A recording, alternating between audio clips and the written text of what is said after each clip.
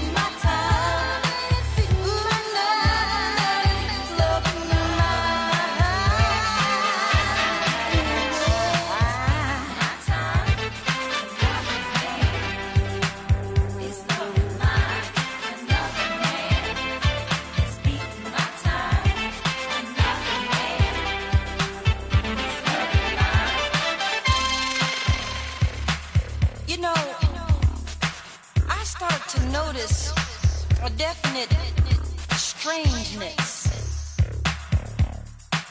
There was no sameness. He was changing. I had gone out one day and bought me a very, very sexy dress and opened up my closet and it had disappeared. Lord, I hope the man is not wearing my.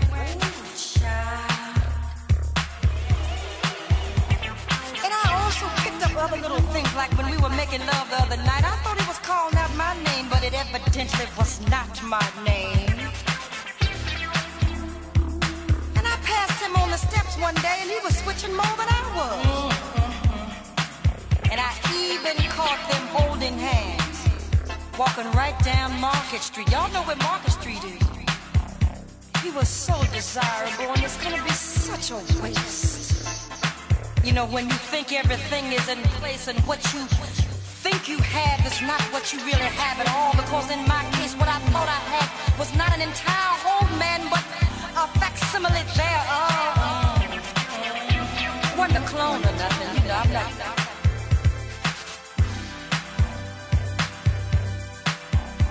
There was a certain kind of a way that he talked to me. His voice went up.